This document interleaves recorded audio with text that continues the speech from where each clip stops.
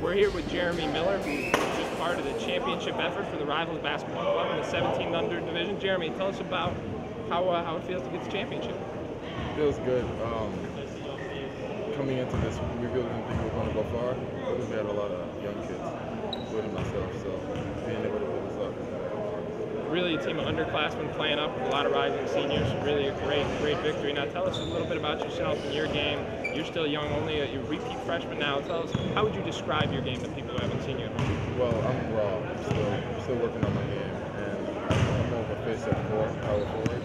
And um, not really a center. I'm just got like a shoot. Well, I just need to work on my handle. As soon as I get there, I'm gonna start going to the basket. Big guy who can step away and shoot. Now, tell us a little bit just about some of the schools you've heard from, even if it's just initial interest. Um, I got offers from BC, uh, Maryland, Providence, and I think that's about it. And um, Ohio State's looking for me too. That's Jeremy Miller, part of the Northeast Hoops Festival champions with the Rivals Basketball Club.